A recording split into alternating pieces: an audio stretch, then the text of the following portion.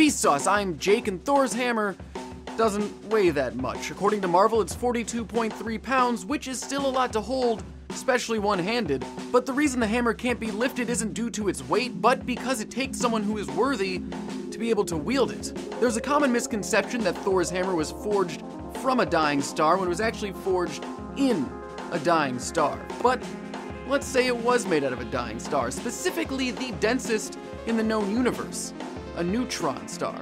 Once a massive star dies and goes supernova, the core may collapse to such a degree that the protons and electrons smash together to form neutrons, giving us a celestial body that can contain two times the mass of the sun within an object that is only 12 miles in diameter. In Caleb Scharf's great book, Gravity's Engines, he mentions how a sugar cube sized amount of neutron star material has the same mass as all of humanity. Taking the dimensions of Thor's hammer and assuming it's made entirely out of that material, it would weigh over 10 quadrillion pounds. So now you have 4.6 trillion metric tons, about 97 million Titanics, condensed into the size of an American football. And let's say you and I are having a conversation. I'm holding my Thor's hammer, and I accidentally drop it.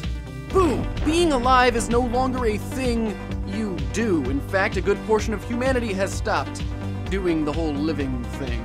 At 50 megatons, the Tsar Bomba was the largest nuclear weapon ever detonated. Thor's hammer hitting the floor would be 1.3 million times that.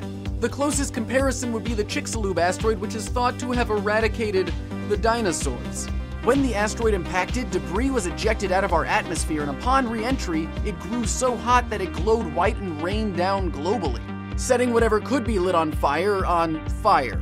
Earthquakes shook the ground, mega tsunamis crashed into land masses, volcanoes erupted, spraying ash into the air, combining with the dust and debris to cover the surface of the Earth and fill the atmosphere, blocking out the sun. Since the hammer is so insanely dense and covers such a small area, if you put it on the ground, it would sink through the Earth until hitting the core. So it's best not to touch anything with Thor's hammer. However, it wouldn't even have to touch you to horribly kill you. Newton's law of gravity states that any two bodies with mass will attract each other.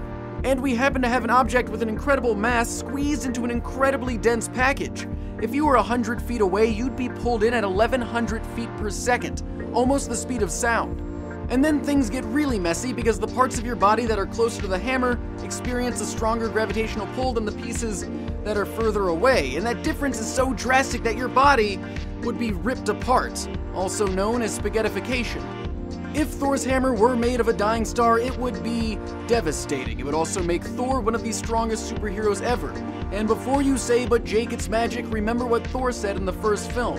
Your ancestors called it magic, you call it science. I come from a land where they're one and the same. Or, in the words of author Arthur C. Clarke, any sufficiently advanced technology is indistinguishable from magic. And as always, thanks for watching.